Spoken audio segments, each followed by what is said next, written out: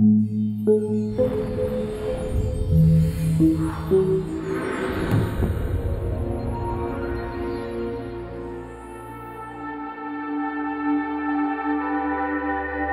那时候五五年，法国、欧洲那个想法都是很开放。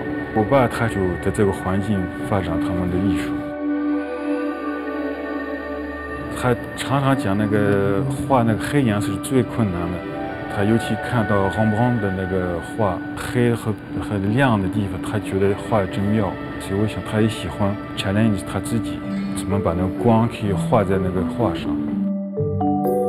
我爸他是很 sensitive，他看很多东西他都有这个感觉。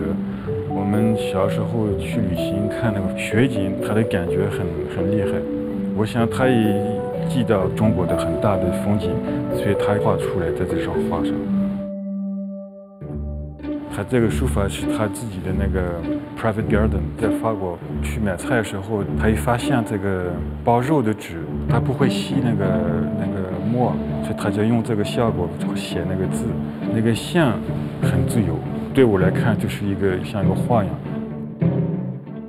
他的画就是代表他的看法，他自己的 style，所以这个是在艺术是最难的。他很喜欢，这个是他一辈子的工作。